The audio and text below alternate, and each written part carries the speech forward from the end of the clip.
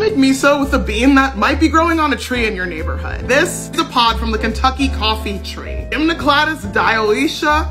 Oh, look at the size of these beans. Shells on the beans have started to discolor a little, but the beans on the inside are still good, and that's what we're using. So give me a second to shell like a hefty cat's weight in beans. We're gonna shuck an Aussie's weight in beans. After I take the beans out of their big shell and they're in their little shell, I like to make a nice little cut because once they cook, it'll make getting the good bean inside so much easier. So satisfying.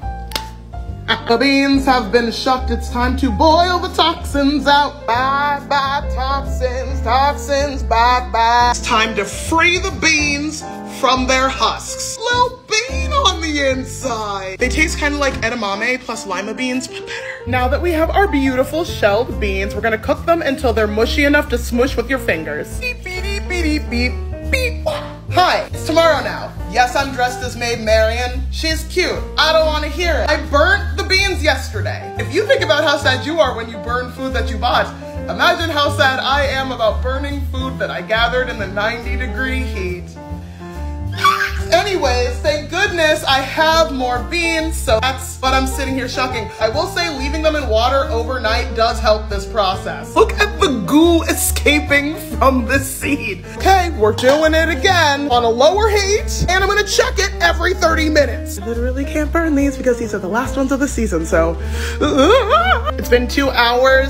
I'm starting to be able to squish them with my fingies. I'm gonna give them another 30 minutes and I'm just gonna call it a day. So that's finishing up. I am sanitizing the inside of this fermentation jar with some spicy water, I just took the beans off the heat. It's time to wake up the miso mold. That's right, koji! Blah, blah, blah, blah, blah.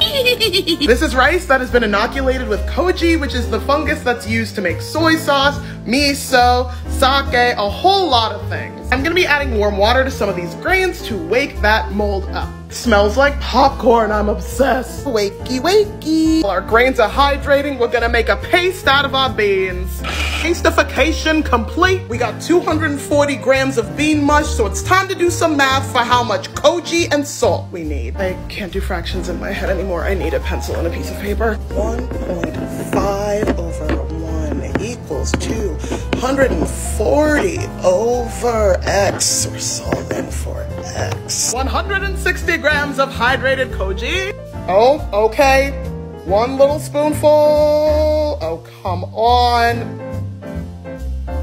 Yeah! I also need 16 grams of salt.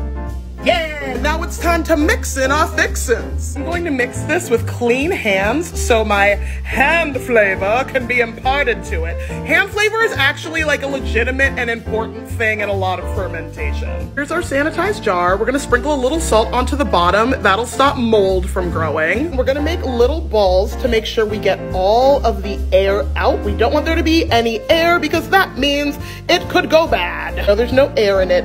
You're just gonna plop that in and push it down with its neighbor. Now that all of our pre-miso is in, we're also gonna salt the top. And here is our miso baby. I have a salt weight, which is just a Ziploc full of salt on top of it, along with a layer of plastic wrap. We're really just trying to make sure she doesn't get moldy. Now she needs to go in a cool, dark place for the next six months. So follow along if you want to get some updates. I'll probably check in every month, but she won't be usable for another six months. I did just taste a little, and it already tastes really good. I just realized it's gonna be ready on 420, so if that's not a reason to stick around to see, I don't know what is. Happy misoing, happy snacking, don't die.